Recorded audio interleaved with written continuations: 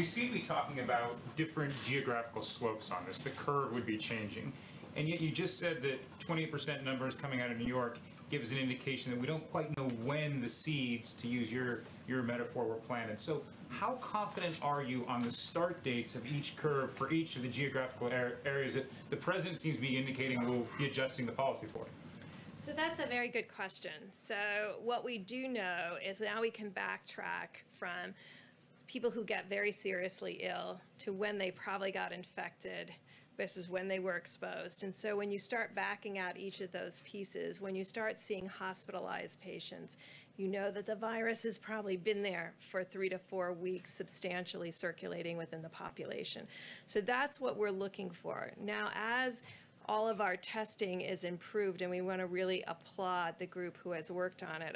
You know, if you look at the pandemic flu preparedness, all of this was built on a flu platform. It was never, ever thought that you'd have a simultaneous respiratory disease hitting at exactly the same time as your flu hits in the country. And so when you're doing all of your flu surveillance, you could had small cases of these pneumonias and flu-like illnesses characterized as a flu-like illness for the last four to six weeks. And so that's really a caution to all of us. And so when we get through all of this, we'll be looking at each of the pandemic preparedness plans. A long way of saying we know Washington State is a little bit ahead of New York because of the hospitalization records. What we will get to as a country with the NANA testing that will be available is being able to do what the president talked about simultaneously, simultaneously doing containment contract tracing at the same time you're doing mitigation. And I think right now we put everything into mitigation.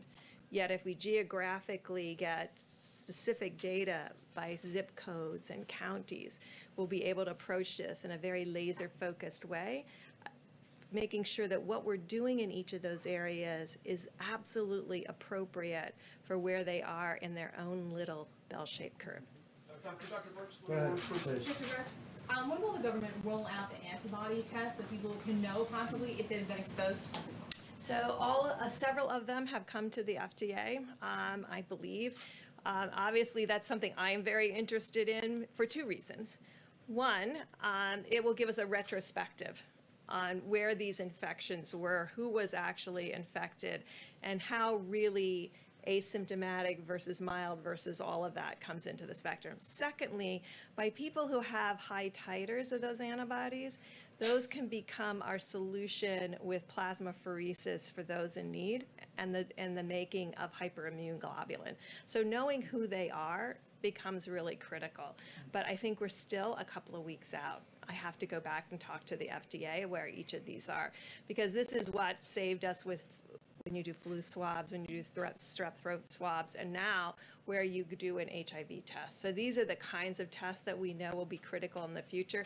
I wanted to say one other thing because you see a lot of numbers out there about 70% of the population is going to get infected or 60% of the population based on those models.